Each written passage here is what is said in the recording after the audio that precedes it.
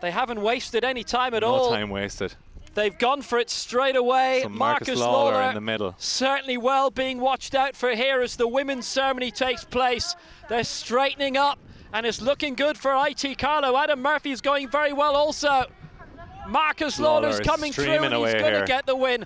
Marcus Lawler is going To win line. this.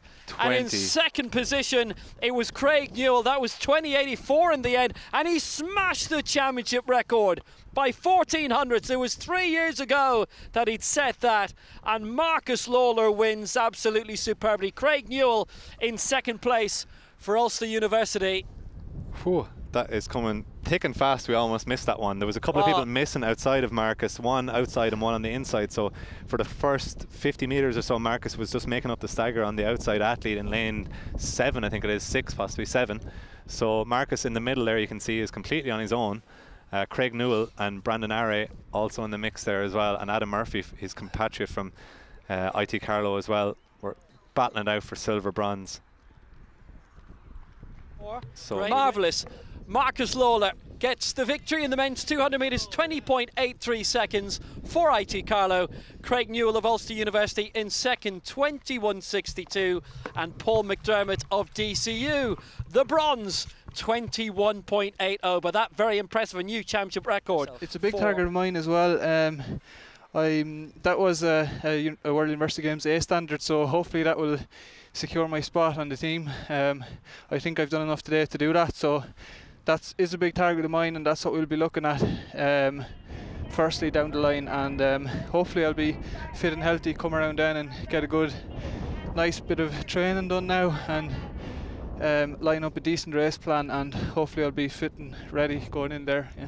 What else are you looking to fill your summer with? Because uh, like you were famously in the last European Team Championships in Finland, and you you know got over the line despite uh, injury. Yeah, um, that was a that was um, a good while ago now, but that was obviously disappointing. Um, hopefully, I'll have a, another Euro- go at the European Team Championships this year, um, but I need to be in the position to be picked. So um, hopefully, I'll be there, and then obviously Doha is on later in the summer as well, and please God run the qualifying standard for that too, and. Um, Hopefully, I'll have a long summer ahead of me. Yeah.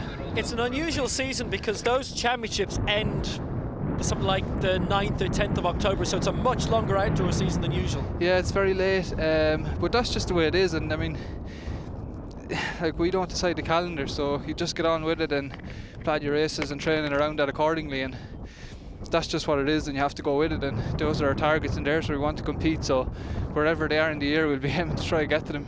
Yeah. How do you change your season as a result of that then? Um, we well, obviously, the first part of my season is done, so I would have had an indoor season. Um, I then took a bit of time off, and now I'm getting ready for the outdoor season. Um, I'm not really, really race sharp yet, um, so we're still in a bit of training.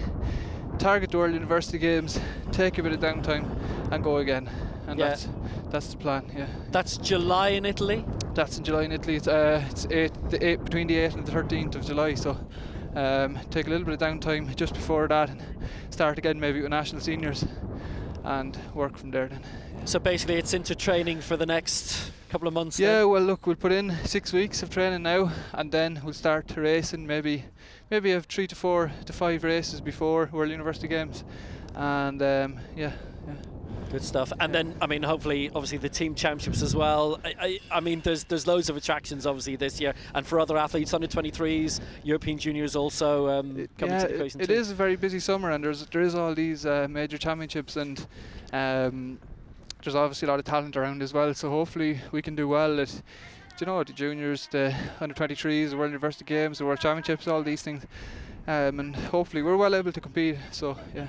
And IT Carlow are keeping you busy as well, of course. Yeah, I, I love representing IT Carlow. Like it's brilliant to coming up here and putting on the singlet because um, it's you know there's just uh, I just love throwing it on because there's just a bit of passion there with it and uh, this is my final year there now so I'm after having a brilliant six years there and they've looked after me very very well um, in terms of the academics and the sporting side of things and I've developed you know as an athlete and as a person over the last six years and um, I'm very grateful to them yeah yeah And outside of the back of that, once I see Carlow's in the past, what's ahead for you?